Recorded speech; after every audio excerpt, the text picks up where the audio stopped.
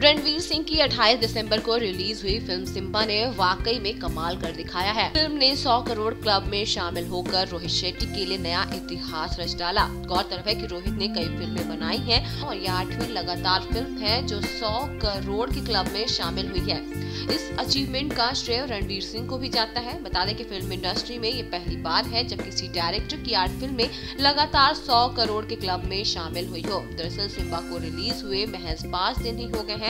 और हफ़्ता खत्म होने से पहले फ़िल्म ने एक करोड़ रुपए की कलेक्शन कर डाली है। रोहित ने ज़्यादातर फ़िल्म में एक्टर अजय देवगन के साथ की है और सिम्बा फ़िल्म सिंघम के आगे की कहानी को पेश करती है। सिम्बा में अजय देवगन का कैमियो रोल है, जिसकी खूब तारीफ़ हो रही है। बॉलीवुड की अपडेट्स और गॉसिप न्यूज़ के लिए माया पूरी कट सब्सक्राइब करना ना भूलें। और हमारे अपडेट्स जानने के लिए बेल आइकन ज़रूर प्रेस करें।